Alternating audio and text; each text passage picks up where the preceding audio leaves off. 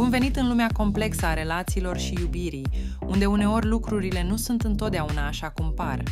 Azi vom explora împreună 10 semne ale unei iubiri false. Chiar dacă poți simți fluturi în stomac, asta nu înseamnă că partenerul tău este adevăratul tău iubit. Priviți-vă relația cu atenție și descoperiți împreună cu noi aceste semne. Primul semn este lipsa de comunicare. Dacă partenerul tău evită conversațiile serioase sau discuțiile despre viitor, ar putea fi un semn de alarmă. Al doilea semn este lipsa de respect. Respectul este esențial în orice relație și dacă acesta lipsește, este posibil să nu fiți într-o relație sinceră. Al treilea semn este lipsa de încredere. Dacă partenerul tău pare să nu aibă încredere în tine sau te controlează constant, aceasta ar putea fi o problemă. Al patrulea semn este lipsa de interes. Dacă partenerul tău nu pare interesat de viața ta sau de lucrurile care te pasionează, acesta ar putea fi un semn de iubire falsă. Al cincilea semn este lipsa de angajament. Dacă partenerul tău nu pare să fie angajat în relație sau să-și dorească un viitor cu tine, acesta ar putea fi un semn de falsitate.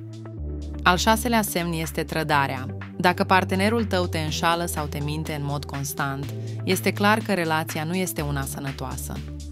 Al șaptelea semn este manipularea. Dacă partenerul tău încearcă să te manipuleze sau să te controleze, acesta este fără îndoială un semn de iubire falsă.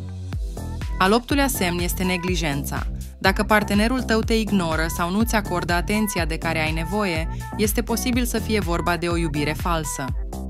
Al nouălea semn este abuzul. Orice formă de abuz, fie el fizic sau emoțional, este total inacceptabilă și un semn clar de iubire falsă. Al zecelea și ultimul semn este indiferența. Dacă partenerul tău pare indiferent față de sentimentele tale sau nu se străduiește să te facă fericit, atunci s-ar putea să fie vorba de o iubire falsă. Este important să ne amintim că toți merităm iubire adevărată și respect în relațiile noastre. Nu lăsați pe nimeni să vă trateze mai puțin decât meritați. Sperăm că aceste semne vă vor ajuta să identificați o iubire falsă și să aveți curajul de a face schimbările necesare. Vă mulțumim că ați vizionat acest video.